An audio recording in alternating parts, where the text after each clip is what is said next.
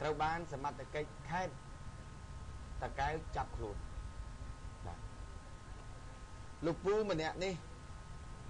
គាត់ត្រូវបានដាក់ឈ្មោះខ្លួនឯងថានរោត្តមរដ្ឋាបាទគាត់ដាក់ឈ្មោះចឹងនរោត្តមរដ្ឋាគាត់អាយុ60ឆ្នាំជាងទៅហើយសពថ្ងៃគាត់រស់នៅក្នុងភូមិដើមមាន សង្កាត់ដើមមាន ក្រុងតាខ្មៅខេត្តកដាល តែគាត់ត្រូវបានអាជ្ញាធរខេត្តតាកែវខាត់ខ្លួនគាត់កាលពីម្សិលមិញនេះដោយសង្ស័យថាពីបទឆោបោកយករឿងខ្សែរាជវង្សទៅបោកអ្នកដតីហើយ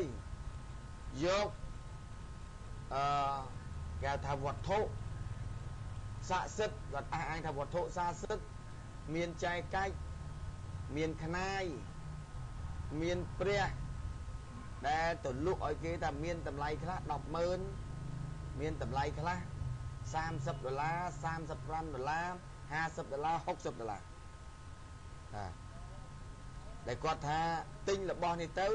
នឹងធ្វើឲ្យតិចតិជុំនៅក្នុងផ្ទះរបស់គាត់បាទប៉ុន្តែអ្វីដែលសមត្ថកិច្ចប្រដាប់អាវុធដែលគាត់ខាត់ខ្លួននេះដោយប្រើប្រាស់ខ្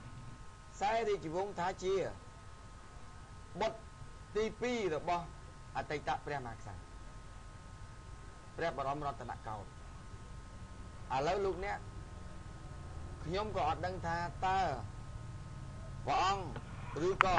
លោកពូបាទកុំឲ្យខុសគេនោះតើគាត់ខ្សែមែនខ្ញុំហៅព្រះអង្គហ្មងទៅគេនោះពិតហើយបើមិនពិតទេខ្ញុំហៅលោកពូដែលដាក់ឈ្មោះថានរោត្តមរដ្ឋា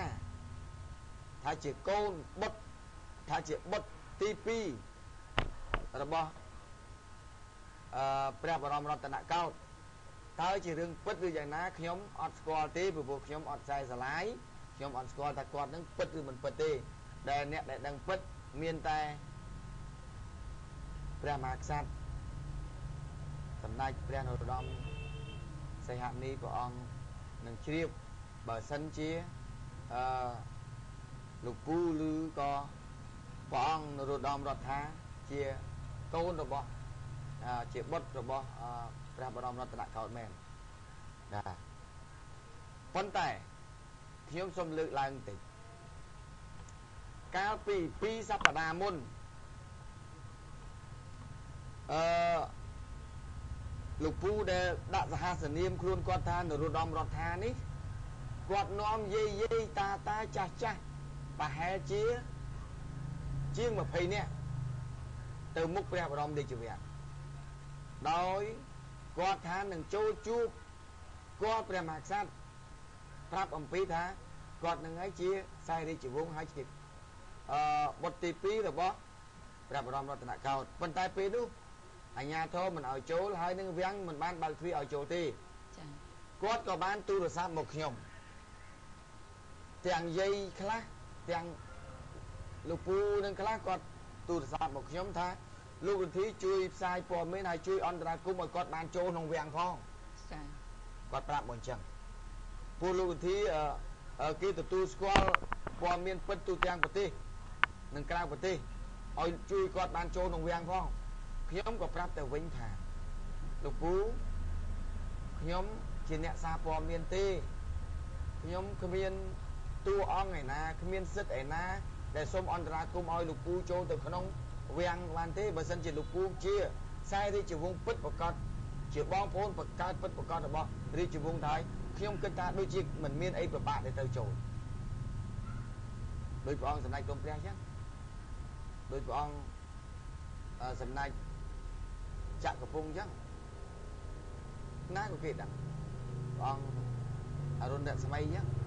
ណាក៏គេដឹងអាហ្នឹងមានតែបញ្ហាអីចាចង់ចូលមកណាក៏បានប៉ុន្តែគេលូលោកពូខ្សែស្រឡាយហ្នឹងវាគាត់ថាជាការសន្ធិដ្ឋនៅក្នុងអារម្មណ៍នេះមិនពូ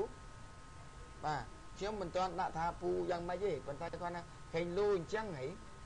បាទបន្ទាប់ពី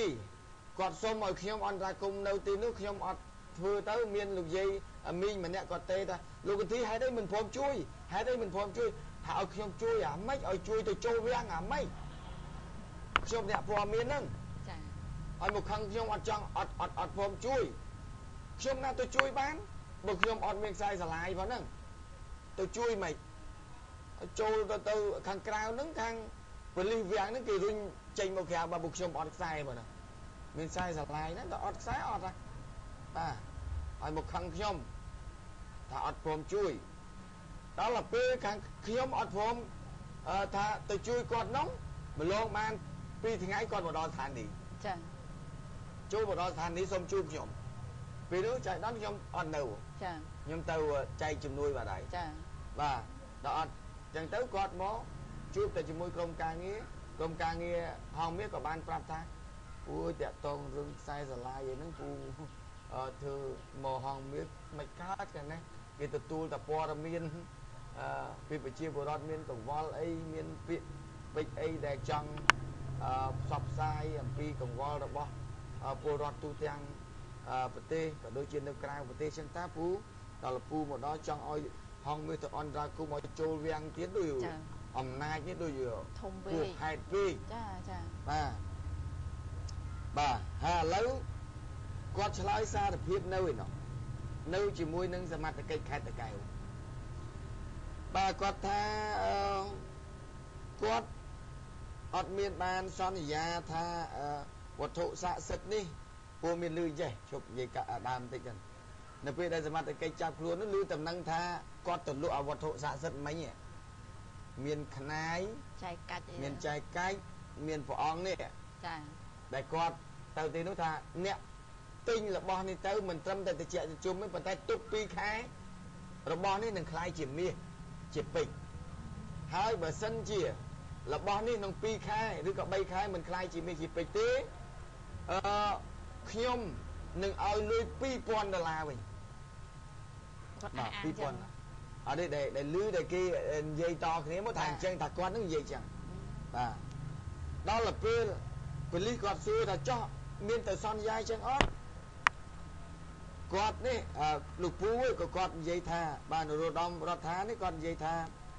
អឺវត្ថុស័ក្តិសិទ្ធិនេះគាត់យកមកលក់មែនប៉ុន្តែគាត់អត់បានសន្យាថាឲ្យវាคล้ายទៅជាមាសជាពេជ្រទេអឺប៉ុន្តែគាត់បាននិយាយមែនថាយករបស់នេះទៅប្រើប្រាស់នោះនឹងបានតិចប្រជុំនៅក្នុងក្រុមគ្រួសារ ចា ហើយនឹងការពារស័ក្តិសិទ្ធិចំពោះសត្រូវដែលប៉ុនប៉ងអឺយាយី ចា គាត់ថាប្រើតែពាក្យចឹងទេ អត់មាននិយាយឲ្យទៅខ្លាយជាមាសពេជ្រទេបាទហើយអញ្ចឹងលោកយាយលោកតាលោកពូអ្នកមីងដែលធ្លាប់តែជួបជាមួយលោកពូអឺបាទអឺនរោត្តមរដ្ឋាបាទនឹងអឺខ្សែពិតមិនគិតវាសូមអធិស្ឋានគេនោះថានិយាយអឺខ្សែមែនតែនទៅវាទៅព្រះអង្គអត់ខ្សែទៅខ្ញុំហៅពូទៅវិញត្រូវមួយណាយកមួយហ្នឹងចា បាទខ្ញុំក៏មិនទៅចោតប្រកាន់ថាលោកពូជាអ្នកឆោបោកដែរប៉ុន្តែប៉ូលីសណាពូណាគេចោតពូថាឆោបោកបាទពួកខ្ញុំអត់ទាន់ដឹងពិតទេអញ្ចឹងខ្ញុំអត់ទាន់ថាពូឆោបោកទេឥឡូវលោកពូអឺនៅអង្គុយតែសាពះតែប៉ុណ្្នឹងឯងអឺប៉ុន្តែយ៉ាងណាក៏ដោយនេះគ្រាន់តែជាអឺករណីមួយដែលការអឺបើសិនជាគេនិយាយថាអឺឆោប